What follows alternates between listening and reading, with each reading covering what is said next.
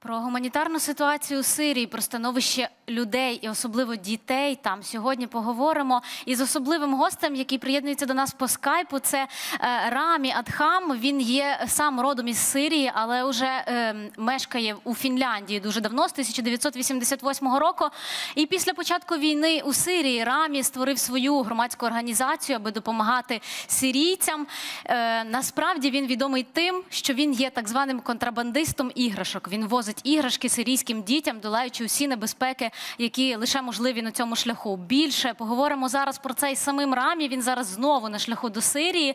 Hello, е, Рамі, дякую, що приєдналися до нас. Дякую, що запросили мене. Я справді дуже вдячний. Рамі. Рамі, розкажіть нам, будь ласка, вашу історію. Як ви вперше вирішили привезти іграшки сирійським дітям?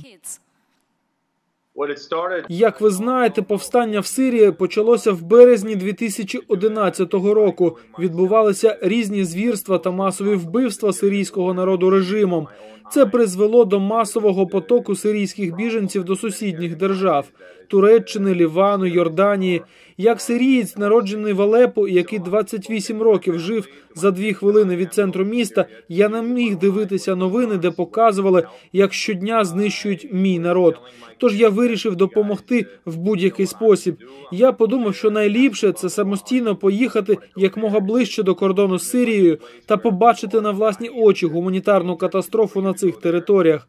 Я сказав своїй родині та дітям, що збираюся поїхати в Сирію, аби побачити, що відбувається, і зрозуміти, як допомогти. Я сказав дітям: ви знаєте, куди я їду і навіщо? Вони спитали батьку, навіщо це тобі? Це місце, де помирають люди, там справді небезпечно. Я заспокоїв їх і пояснив, що це правда, але там сотні дітей, які втратили свій дім, школу, іграшки та друзів. Тож ми маємо їм допомогти.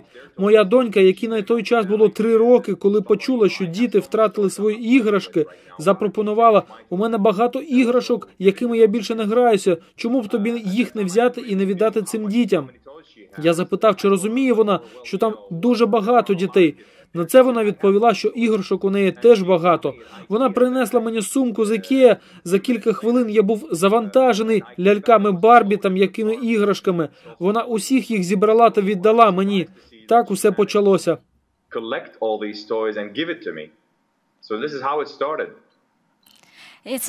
Це дивовижна історія. Що було далі? Як ви вперше потрапили в Сирію?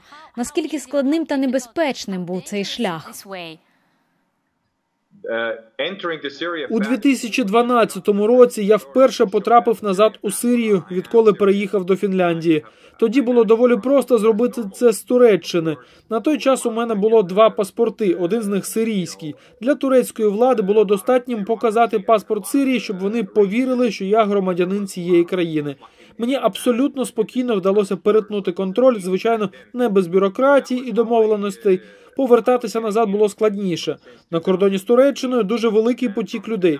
З 2012 року до сьогодні я був у Сирії 28 разів.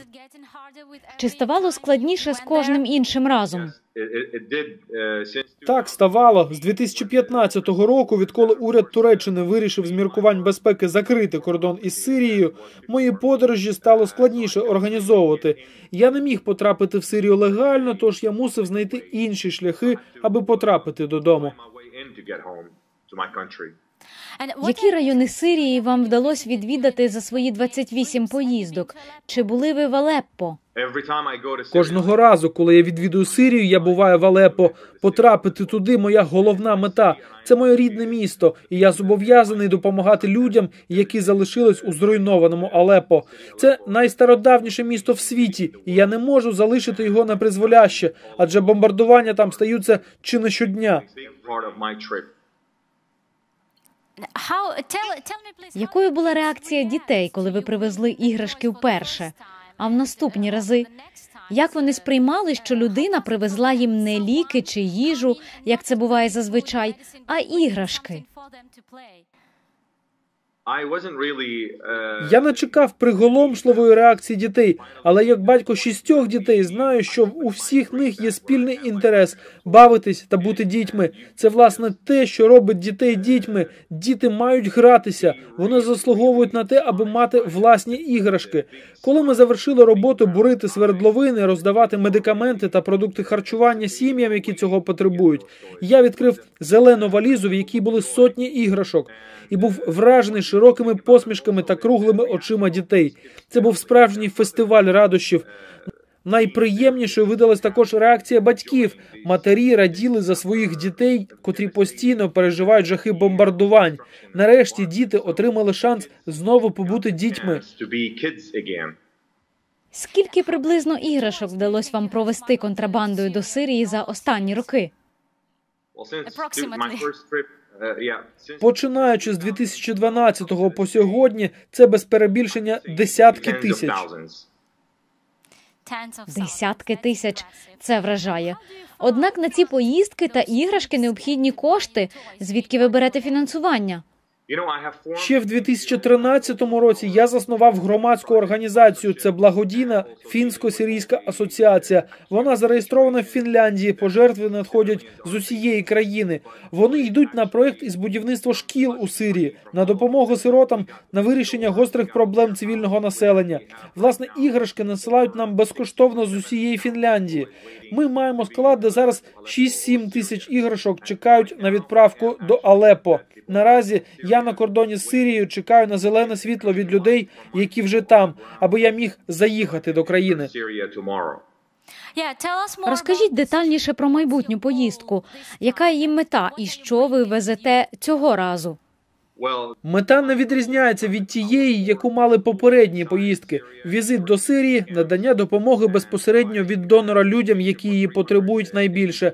Ми зараз будуємо четверту школу в Сирії в таборі для біженців. 380 дітей вже отримали змогу навчатись. Прикрі новини щодо цієї поїздки полягають в тому, що Алепо відрізаний від зовнішнього світу. Я маю на увазі звільнені території Алепо, які не знаходяться під контролем сирійського режиму. Відбувається регулярне бомбардування цих територій сирійським режимом та російськими винищувачами. Понад 200 ударів було завдано по місту. Зараз Алепо в облозі. Власне, через це я не можу туди потрапити.